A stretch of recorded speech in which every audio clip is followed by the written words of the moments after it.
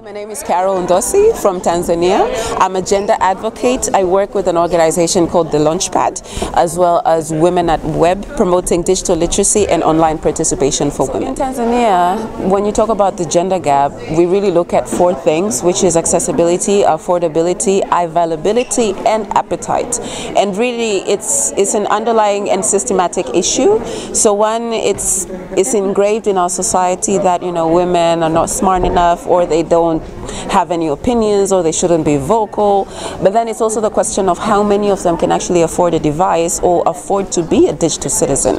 Um, there's also the question of appetite, which is really about the local content and what is there out there in the digital world for these women? Is it interesting enough for them? You know, some of them are in the farm the whole day and you're telling them to get on, on, on Instagram or on Snapchat or on Twitter to, to vocalize about whatever is happening with the government or some law that has been enacted. But they're not interested because one, most of them are not aware of their rights, most of them are not aware of their responsibilities.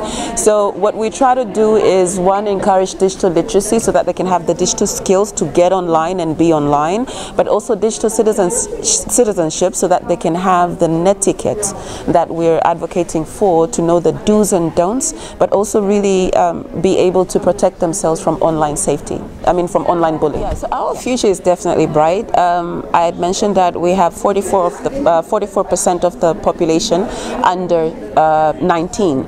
Now, if we do it right, if we encourage a lifelong learning, and if we catch them early, uh, meaning that integrate digital skills and digital inclusion right at the bottom, at the heart of the education system, that means that we'll have the next generation, the upcoming generation, really become digital citizens. So that is the direction that we're taking, and that is why we want to focus on the young population so that in 10 years, in five years, we have made a lot of stride.